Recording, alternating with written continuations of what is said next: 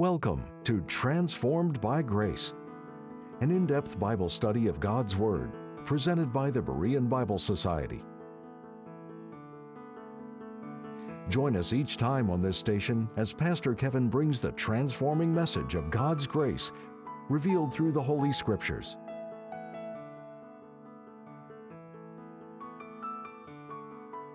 Father and son arrived in a small western town looking for an uncle whom they had never seen or met. Suddenly, the father, pointing across the square to a man who was walking away from them, exclaimed, There goes my uncle. His son asked, How do you know when you've not seen him before? The father replied, Son, I know him because he walks exactly like my father. Others can see Christ in us by the way we walk and live. We can walk like our Savior. The Holy Spirit works in us to that end. And as we yield to Him and to His Word, He produces the fruit of Christ likeness in our lives. That's always the Spirit's purpose. Fruit bearing is another work of the Holy Spirit, and we'll be looking at the fruit of the Spirit in this episode. Galatians 5 22 to 23 reads, But the fruit of the Spirit is love, joy, peace, long suffering, gentleness, goodness, faith, meekness, temperance.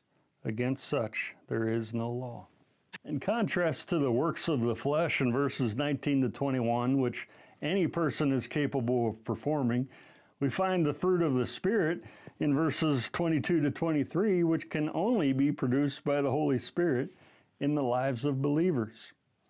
When believers walk by faith and dependence in the Holy Spirit, two results are secured. First, according to verse 16, ye shall not fulfill the lust of the flesh. And second, the fruit of the Spirit will be manifested. Both these negative and positive aspects of our spiritual life are guaranteed to those who walk and depend on the Holy Spirit. It's guaranteed because of the life, power, and faithfulness of the Spirit. Love, joy, peace, long suffering, gentleness, goodness, faith, meekness, temperance are the fruit of the Spirit, not the fruit of self effort. In ourselves, we are only flesh. The flesh produces nothing more but more flesh. A product comes from a producer. The product of spiritual fruit comes from the producer of the Holy Spirit. A.W. Pink wrote this A garden is a piece of ground distinguished and separated from others for the owner's use and delight. So the church is distinguished and separated from all other people. In a garden is a great variety of plants, herbs, and flowers. So in the church, there are members differing much from each other, yet in all, there is that which is delightful to their Lord. In a garden, the plants and flowers do not grow up naturally of themselves. They do not spring forth spontaneously from its soil, but have to be set or sown. For nothing but weeds grow up of themselves. So in Christ Church, those excellencies which are found in its members are not natural to them, but are the direct product of the Spirit's operations. For by nature, nothing grows in their hearts but the weeds of sin and corruption. Notice that it is the fruit, singular, of the Spirit. It's not the fruits, plural, of the Spirit. A tree may bear many apples, but they all come from the same tree. In the same way, the Holy Spirit is the source of all fruit in our lives and all nine aspects of the fruit of the Spirit. As fruit issues from the life of a tree or plant, so spiritual fruit issues from the life of the Holy Spirit in us. And the singular form of the word fruit teaches that these nine graces form an indivisible whole. They constitute a unity. In contrast to the works of the flesh, which create discord and chaos, the Spirit produces a unity and characteristics in us that produce harmony. And the Holy Spirit will not produce just a few of these, but all of them. If any are present, all actually will be present. In believers, often one grace is predominant, though, such as the meekness of Moses, the patience of Job, the love of John. Yet as the Spirit produces His fruit, all are present. It's like what Manford Gutzke wrote all the colors of the rainbow are in every beam of sunlight. They all are there at any one time. They may not always come into vision, but they are all present. Just as these colors of the rainbow are present in light, so these traits of personal conduct are in the working of the Holy Spirit.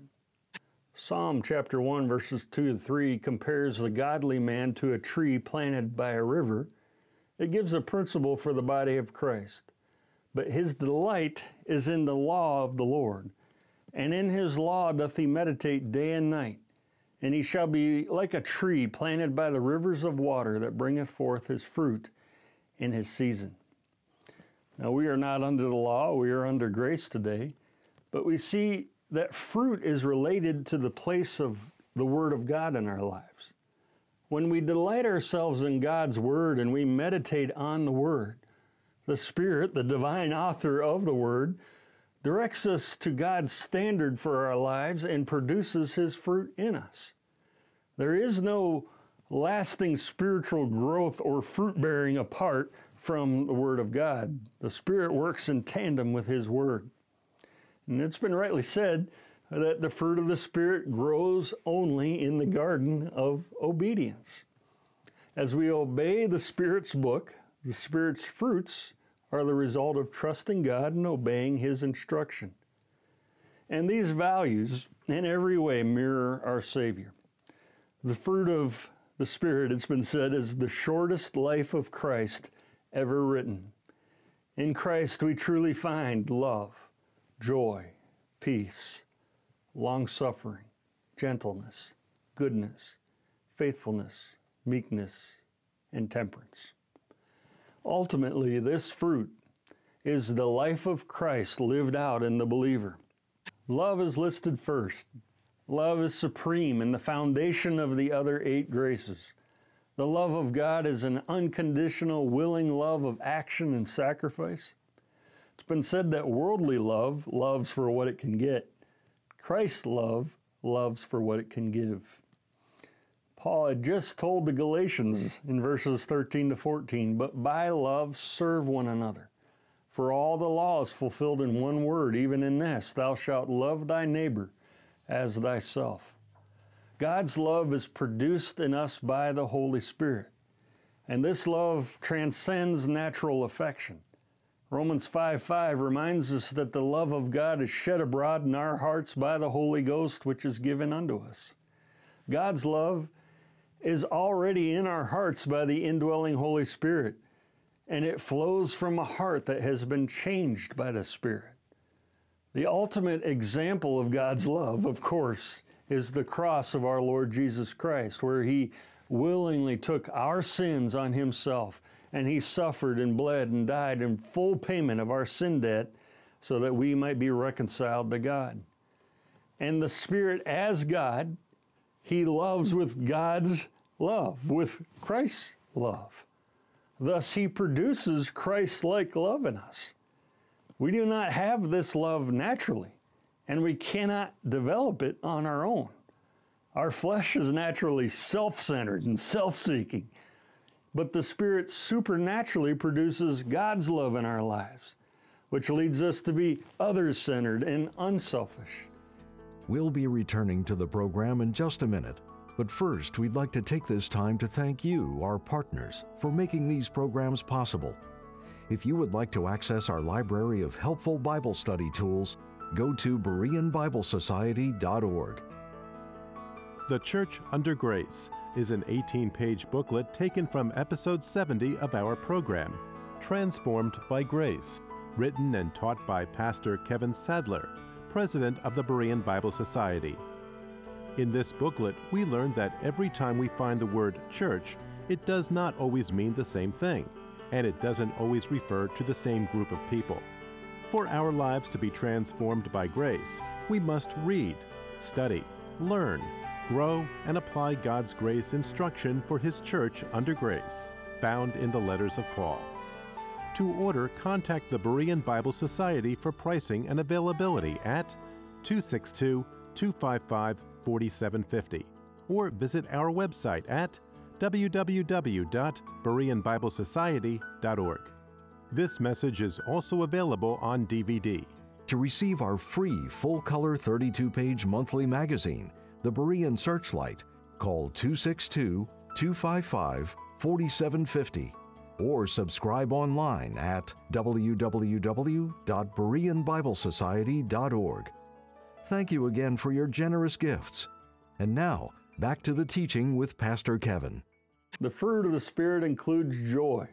The joy of God runs much deeper than mere outward or temporary happiness because it is anchored in God Himself.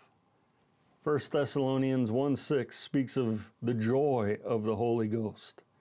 And He produces this joy in our hearts as we grow in Christ. The Spirit's joy is a transcendent joy, a joy born of our eternal blessings and hope in Christ. The victory Christ has won for us is not temporal or seasonal, and thus the joy of the Spirit is permanent and stable. John Ortberg wrote the following When we take our children to the shrine of the golden arches, they always lust for the meal that comes with a cheap little prize. A combination christened in a moment of marketing genius, the Happy Meal. You're not just buying fries, McNuggets, and a dinosaur stamp, you're buying happiness. After all, it is a happy meal. Their advertisements have convinced my children that they have a little McDonald shaped vacuum in their souls. Our hearts are restless till they find their rest in a happy meal. I try to buy off the kids sometimes. I tell them to order only the food and I'll give them a quarter to buy a little toy on their own. But the cry goes up I want a happy meal. All over the restaurant, people crane their necks to look at the tight fisted, penny pinching cheapskate of a parent who would deny a child the meal of great joy. The problem with the Happy Meal is that the happy wears off and they need a new fix. No child discovers lasting happiness in just one. No child says, Remember that Happy Meal? Oh, what great joy I found there. Happy Meals bring happiness only to McDonald's. You ever wonder why Ronald McDonald wears that grin? 20 billion Happy Meals, that's why. When you get older, however, you don't get any smarter. Your Happy Meals just get more expensive. The world's happiness and the things that the flesh craves bring only fleeting, temporary pleasure. But joy produced by the Spirit in Christ is true joy. Joy rests in God, in His promises, in His control, and being eternally right with God, in the salvation we have through His Son. As Paul wrote in Romans 5:11, we joy in God through our Lord Jesus Christ, by whom we have now received the atonement. In John Bunyan's classic Pilgrim Progress, Christian, the main character, sets out on a journey to find a way of escape from the city of destruction where he lives, and to find some way to get rid of the terrible burden that he carries over his shoulder. He ran, writes John Bunyan, till he came at a place somewhat ascending and upon that place stood a cross, and a little below, in the bottom, a sepulchre. As Christian came up to the cross, his burden loosed from off his shoulders, fell from off his back, and began to tumble, and so continued to do till it came to the mouth of the sepulchre where, where it fell in, and I saw it no more. Then was Christian glad and lightsome, and said with a merry heart, he hath given me rest by his sorrow and life by his death. That he stood still a while to look and wonder. For it was surprising to him that the cross should thus ease him of his burden. He looked therefore and looked again, even till the springs that were in his head sent the waters down his cheeks. Then Christian gave three leaps for joy and went on singing. And likewise, we leap for joy and we praise God because our burden of sin is gone in Christ. The full, deep, abiding joy of God in the believer penetrates the soul and allows us to rejoice in the Lord always. It allows us to praise Him in any circumstance and to look beyond our circumstances in hope. And in the joy the Spirit produces in us, we find strength. As Nehemiah says, the joy of the Lord is our strength. And it's been said well that joy is the flag that flies above the palace when the king is in residence. And God, the Holy Spirit, is always in residence in us. Thus, joy can always mark the life of the believer in any situation and circumstances. The fruit of the Spirit includes peace. The scriptures teach that believers are at peace with God and also that we have the peace of God. We first must experience peace with God and our justification by faith alone in Christ before the peace of God through the Spirit can then reign in our hearts. It's been said that if joy speaks of the exhilaration of heart that comes from being right with God, then peace refers to the tranquility of mind that comes from that saving relationship. It is not a peace won by appeasement. It is not just an absence of conflict or an armistice. It is peace wrought and created by a permanent victory. God told Israel through the prophet Isaiah, Comfort ye, comfort ye, my people, saith your God. Speak ye comfortably to Jerusalem, and cry unto her that her warfare is accomplished, that her iniquity is pardoned. When wars are fought and peace treaties are signed in this world, there's always the uneasiness and insecurity that they could still always be broken. But not so with the victory Christ won over sin at the cross. That spiritual warfare is accomplished and ended. He has secured eternal peace for us by his victory over sin, the grave, and the devil by the cross and his resurrection. As Colossians 1:20 states, and having made peace through the blood of his cross by him to reconcile all things unto himself. Christ's blood made peace. The war is ended. We, former enemies of God by faith alone, are reconciled to God through the blood of the cross. God's peace is now our inheritance. It is our future in heaven, and it is something we can experience right now. The Holy Spirit produces God's peace in our hearts. It is a peace the world cannot give, and it's a peace they do not know. It is a peace that passes understanding. It guards our hearts and minds through Christ Jesus. It is a lasting peace that no one can take away from us. Moving on to the aspects of the fruit which are in relation to man, Paul speaks of long suffering. This refers to patience, tolerance with others, steadfastness under provocation. It carries the thought of patiently enduring ill treatment without anger, retaliation, or revenge. And that is the exact opposite of the flesh, which lashes out, is impatient, and seeks retaliation. The flesh often has a short temper. The spirit produces a long suffering. This virtue reflects the character of God. God is long suffering. We see this during this present evil age. God is long suffering as He gives all people an opportunity to be saved. As Peter wrote, that the Lord is long suffering to us who are not willing that any should perish, but that all should come to repentance. The Holy Spirit is patient with people. He is patient with you and with me. And I don't know about you, but I'm really glad that the Spirit is patient with me. None of us have arrived or will arrive at the goal of Christ likeness on this side of glory. But the Spirit is long suffering with us in our spiritual growth.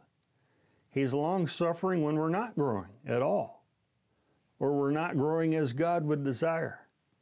But He waits patiently for us by grace and in love. And in his long suffering, he waits for us to turn to him for his aid. And as we walk in the Spirit, he will produce that same fruit that is in Him that enables us to suffer long and be patient. Next, gentleness. The Greek word translated as gentleness here is translated as kindness in 2 Corinthians 6 6. It carries the idea of kindness. Gentleness does not in, uh, indicate lack of conviction or weakness. It's been said that only the strong can afford to be gentle. A man who is gentle and kind we call a gentleman. Paul was gentle among the Thessalonians, telling them, We were gentle among you, even as a nurse cherisheth her children.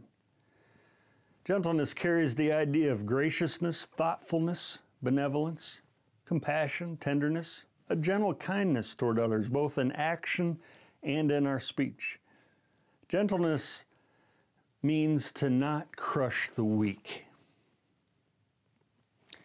And there are many in their, in their authority, in their pride, their power, their supposed strength, will crush others with their words or actions to lift themselves up.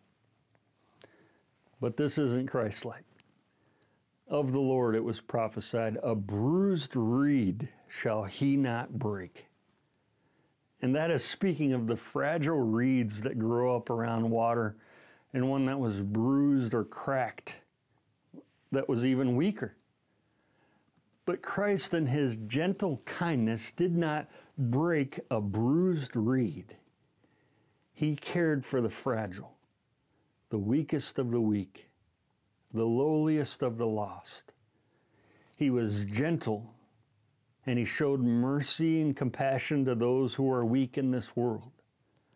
And the Spirit will produce this Christ like gentleness in us as we grow spiritually by faith in the Word of God. The fruit is not produced by the flesh and not by works, but by faith. Paul challenged these Galatians earlier. This only would I learn of you. Received ye the Spirit by the works of the law or by the hearing of faith? Are ye so foolish, having begun in the Spirit, are ye now made perfect by the flesh? We receive the Spirit at salvation by faith. We grow and mature in the Spirit by faith. And the Spirit produces His spiritual fruit in us by faith. Goodness. God is good all the time. And all the time, God is good. The Lord told the rich young ruler that there is none good but one, that is God. The Holy Spirit is God. He is good, and He produces goodness in us. Referring to man's supposed goodness, Hosea 6 4 says, O Ephraim, what shall I do unto thee? O Judah, what shall I do unto thee? For your goodness is as a morning cloud, and as the early dew it goeth away. Man's goodness is fleeting and fails and false. When we measure goodness against the perfect standard, the righteousness and goodness of God, we find what is truly good. And the Holy Spirit will produce His fruit of goodness in our hearts as we yield to Him. Goodness refers to one's personal integrity, and it speaks of having a disposition to do good out of a good heart being generous with our time and resources, always ready to do good, reaching out to help others and to please God without expecting anything in return. Paul goes on in a few verses later in chapter 6, verse 10 As we have therefore opportunity, let us do good unto all men, especially unto them who are of the household of faith. I like how John Wesley put it do all the good you can by all the means you can and all the ways you can and all the places you can to all the people you can as long as you ever can. Next, faith. This is something for you to study and check here, but I believe the fruit of faith is referring to one who is worthy to be trusted. In other words, faithfulness. This fruit speaks of one who is faithful to the task, dependable, true to one's word and their promises. God is faithful. He is trustworthy. He is faithful to His word and to His promises. Deuteronomy 7 9 teaches, Know therefore that the Lord thy God, He is God, the faithful God, which keepeth covenant and mercy with them that love Him, And the fruit of the Spirit's working in our lives will produce this same quality of God's faithfulness in us. And manifesting this aspect of fruit in our lives, fidelity will be a mark of our character. We will be loyal, reliable, trustworthy, worthy of others' confidence. Meekness. In 2 Corinthians 10:1, Paul wrote, "Now I, Paul, myself beseech you by the meekness and gentleness of Christ." In the Lord's earthly ministry, he said, Take my yoke upon you and learn of me, for I am meek and lowly in heart. Meekness, like all the aspects of the fruit of the Spirit, is a characteristic of Christ. Meekness is not timidity or weakness, it is real strength, inner strength through the power of God. It is strength under control. The word carries the idea of being tamed like a wild horse that is brought under control. A river that is under control can be used to generate power. A fire that is under control can be used to heat a home. A person who is under control of the Spirit can be used of God to serve Him and His work in this world.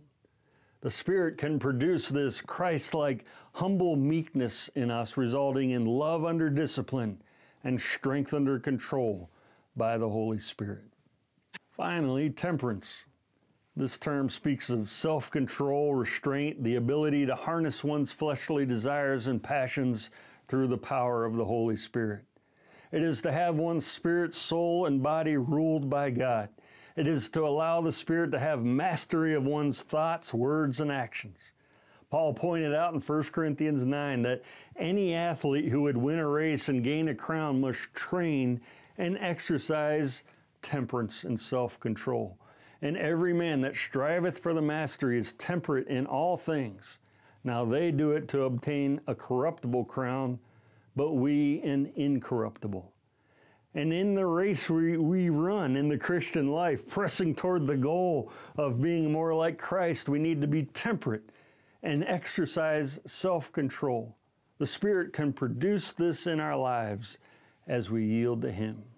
Unlike the list of the works of the flesh, for these wonderful virtues, Paul wrote that no law by man or God forbids the possession or practice of these things. Instead, God desires all His children to possess and practice these very things. And the Spirit will bear this fruit in our lives as we walk in the Spirit.